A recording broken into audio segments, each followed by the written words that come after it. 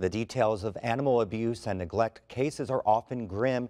Pets deprived of food and water, small cages covered in feces, dogs forced to fight each other to the death. But some of those cases never saw a courtroom because of how Indiana defines abuse and neglect. As Barbara Brosher reports, that's starting to change as the result of new laws that took effect earlier this year. The Morgan County Humane Society is bursting at the seams with adoptable animals. But it isn't all happy reunions and sending animals to loving homes for the staff that works here. The nonprofit also serves as animal control for the county, and the cases can be hard to stomach. Shooting is frequent um, of, of owned animals, and unfortunately, it is also not illegal to shoot your own animal. The Animal Legal Defense Fund ranks Indiana in the top 10 nationally for its animal protection laws, but advocates say there's still a long way to go. Animals have been typically in our state and nationally considered property. And so it is very difficult uh, when you're dealing with a living being to explain to the public that your animal really doesn't have any more rights than your handbag. That can be a real challenge when it comes to filing criminal charges for animal abuse and neglect.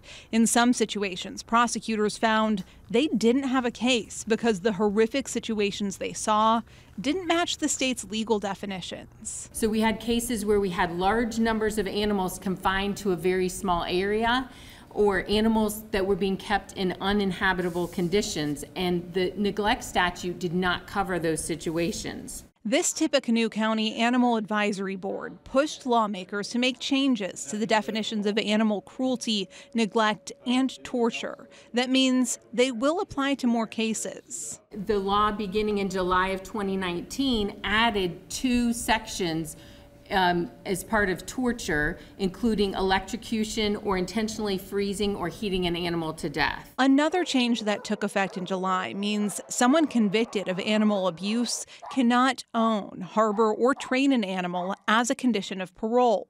Before, the court could decide whether to apply the ban. We had multiple cases where we had animals that were killed and we could not get a ban from having that defendant who was convicted from going back out and buying another cat or dog. Prosecutors and law enforcement say the ban is important, not just for the safety of animals, but also people. They say in many cases, animal abuse can be a warning sign for other criminal activity. Statistics show from our prosecutor that you know, if you're going to harbor an animal again, not only will you abuse it, but you also have tendencies and statistics that show that you probably got abuse within the house too. That's illustrated in a Lafayette case from last year. Police went to this house after someone complained about possible dead animals. Court documents say the officer found a large number of rabbits inside, with animal feces and trash throughout some areas of the home. Investigators also discovered something else. And when the animal control officer went in there, due to the training from the Animal Advisory Board, they saw in the, in the bathroom ceiling a hidden camera.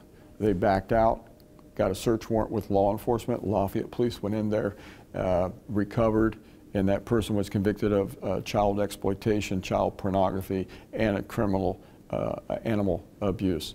A judge sentenced Anthony Leavell to 10 years in prison for the crimes. Advocates hope this year's changes will make it easier to prevent people like that from owning and harming more animals. And they plan to keep taking their fight for stronger animal protections to the State House.